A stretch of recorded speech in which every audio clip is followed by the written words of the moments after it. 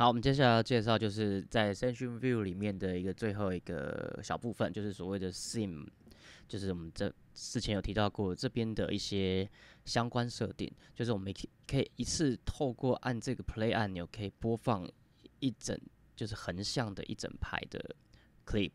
好，那既然要这样的话，要示范的话，我们直接从就是从这边 Library 里面搜寻。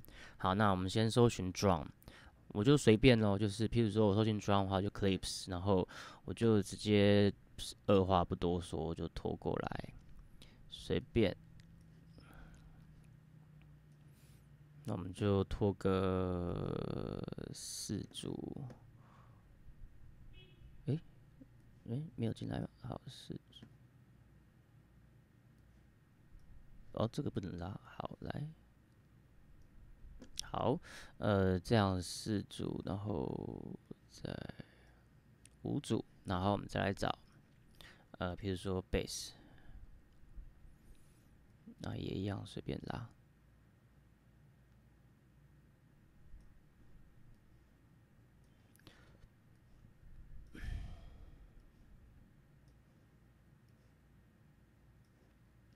五组。好，完全是随便拉，然后随便把 clip 拉进来，然后我们再效果好了，FX。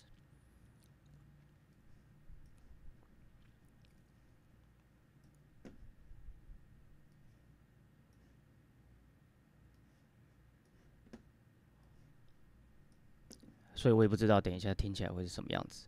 然后 delay，突然想搜寻一下 delay。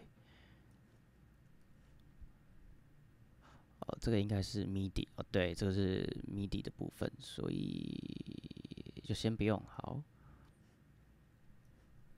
啊，这个也是重复的。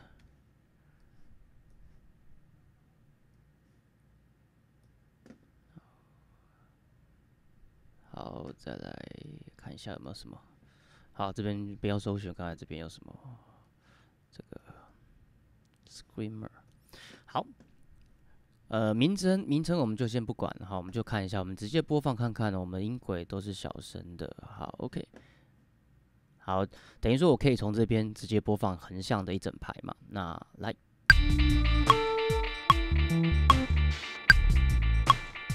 好，click 关掉，有没有？好，然后当然，各位顺便在。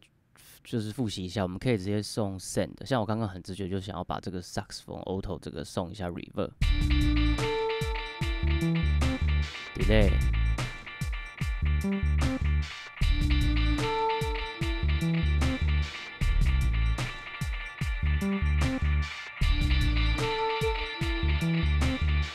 好，那我们听场景二。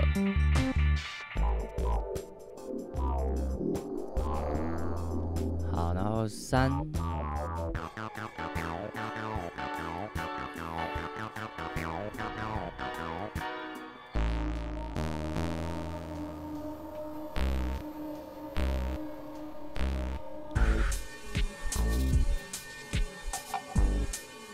好，基本上我刚刚是随机的拉了很多 clip 进来，然后我们这样做好。那我们第一个要做的一。介绍的事情是说，我们可以从这边播放任何的一排横向的，对不对？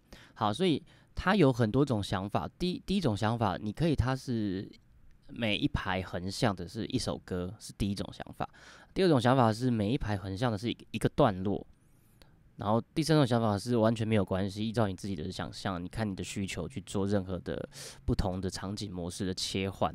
好，所以它的那个可变性就非常大。那现在我们要第一件要做的事情是说，呃，我可以就是，譬如说我这样做，我直接示范给你看，我可以透过我的随机的播放方式，然后再抓出你觉得好听的排列组合。譬如说这样，呃，我先全部停掉。好，比如说我的鼓放这个，然后我觉得我的贝斯要用这个，然后我的效果随便点一个。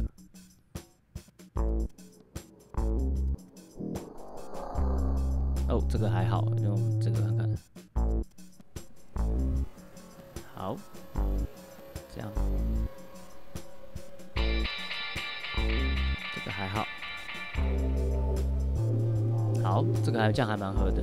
好，当我发现觉得这个排列组合还不错的时候，我可以这样子，就是在一个空白的地方，你在这边也可，在这边也有，我看一下哦，基本上是要在空白的地方去做一件事，就是我现在播放的是这每一轨不同的 clip，然后我在空白的地方 capture and insert scene。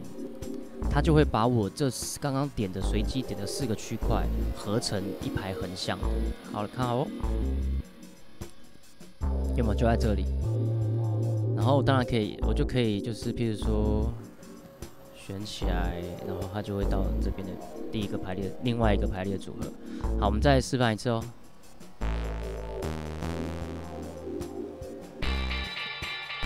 啊，我在这个地方的话是没有的。这边也没有，然后这边也没有，有没有？所以你要在一个空白的地方 insert，其实 capture。然后如果你是 command I 的话，它是空白的嘛，新增一就是横向的空白，然后 capture，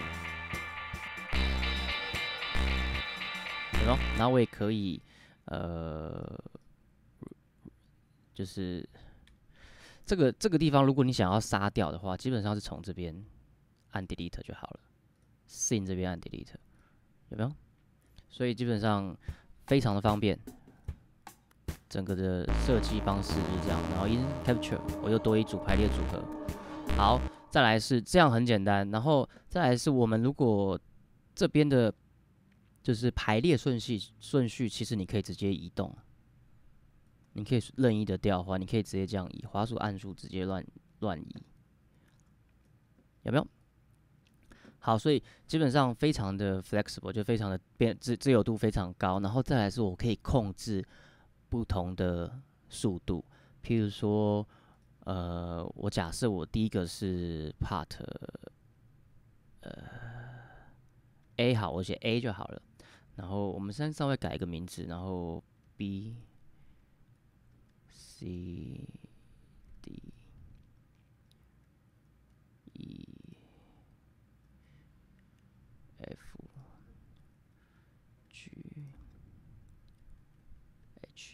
好，呃，我可以就是去给它不同的速度，譬如说我的 A，我只要在不管在哪里，不管你在前面后面，我给它一百二十，我只要打一百二十 BPM，然后空格 A，好，那我播放 A 的时候，它就会一百一百二十为准，然后如果是 B 的话，譬如说我可以打在后面，日八十五 BPM。然后 C 的话，一百四十 BPM，你当然也可以大写。好，然后好，譬如说这样就好。那我这时候我现在播放 A，一百二，有没有一百二？然后播放 B，八十五。然后播放 C，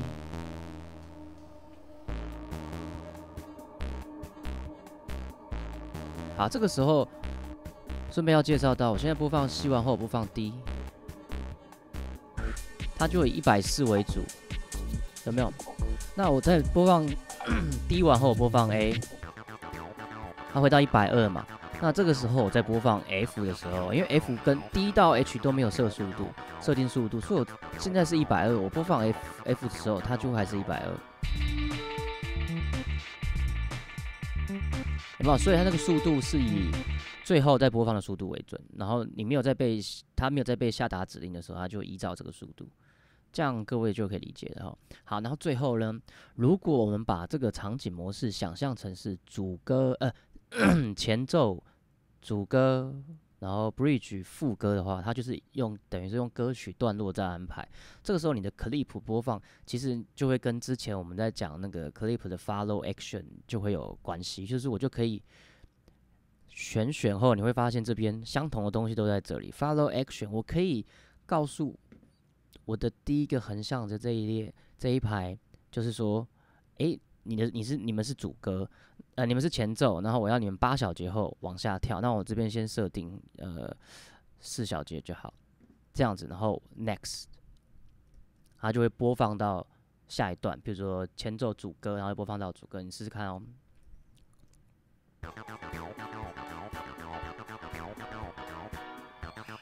有没有？它就 stand by 了，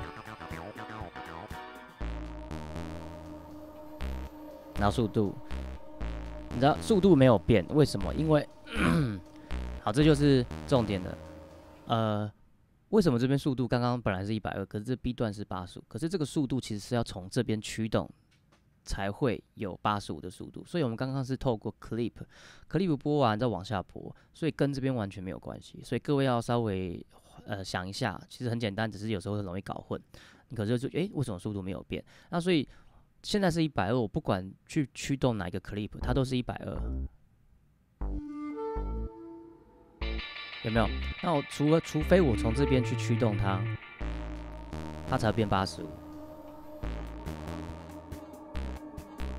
所以这样各位就应该有概念，就是这一排你告知的这些速度、表情，都一定要透过这一排的按钮、播放按钮去驱动它、启动它，它才会影响到整个拉呃 life 的速度。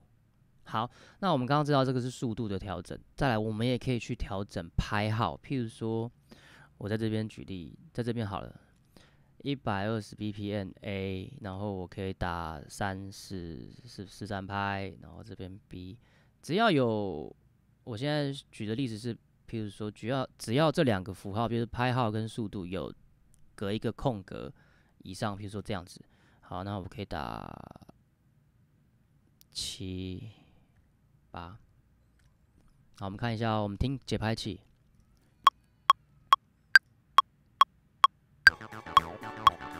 然后三拍，一二三，一二三一，然后看这个是七拍的。好，播放一次。五六七，一二三四，五六七，一二三四，五六七，有没有？好，所以基本上这样，各位就知道，我们可以在这个地方呃命名，然后改拍号，下下达拍号的指令，以及下达速度的指令，然后透过这个播放的按钮去启动这个场景。好，或者是段落，或者是某一首歌这样子，当然你也可以在这边替它更改颜色，然后任意的移动，然后甚至你当然也可以剪下贴上，有没有？非常的简单。好。